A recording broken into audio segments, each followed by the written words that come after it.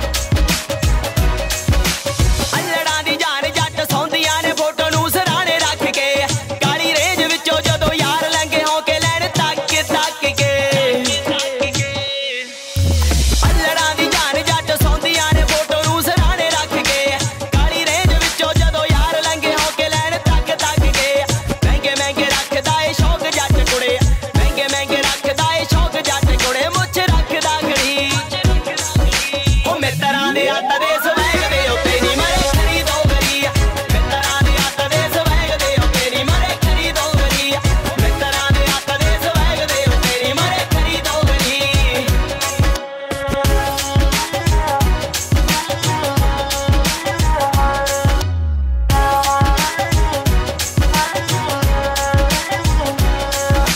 ਦੁਰਗਾਪੁਰ ਪਿੰਡ ਨਵਾਂ ਸ਼ਹਿਰ